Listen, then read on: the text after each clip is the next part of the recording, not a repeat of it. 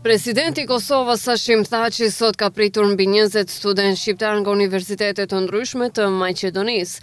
Duke folur për afrimin e të rinjve shqiptarë nga Kosova dhe Maqedonia, presidenti Thaçi tha se tashmë gjithçka ndërlidhet me angazhimin, punën dhe projektet e përbashkëta studentore, sepse mundësitë ekzistojnë. Sot ekziston lëvizje e lirë, ekzistojnë bashkëpunime ndëruniversitare, Studentët bëjnë transfere dhe ndjekin studimet në Prishtinë, Tetovë e Shkup, në përputhje me përvojat evropiane.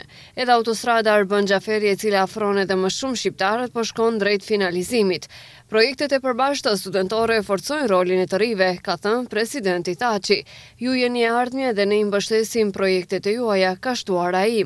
Ndërsa, përfaqësuesi i studentëve shqiptarë nga Maqedonia Arton Rama, duke treguar për angazhimin e tyre në projekte të ndryshme sociale, politike dhe kulturore, theksoi se fokusi i tyre është në rritjen e bashkëpunimit ndërmjet të rinjve në Maqedoni dhe Kosovë, Si të rinj e vlerësojmë shumë kontributin dhe përpjekjet tuaja për unifikimin e shqiptarëve në Maqedoni. Shumica prej nesh jemi pjesë e organizatave dhe instituteve të ndryshme. Jemi studentë nga Universiteti Shtetëror i Tetovës, nga i Evropës Juglindore. Pastaj, kemi studentë edhe nga Universiteti Ndërkombëtar Ballkanik i Shkupit, si dhe nga Universiteti Shën Kirili dhe Metodi. Ne jemi në Kosovë, sepse duam Kosovën. Duam ta rrisim bashkëpunimin mes studentëve ku vijojnë studimet të rinjtë shqiptarë, ka thënë përfaqësuesi i studentëve nga Maqedonia.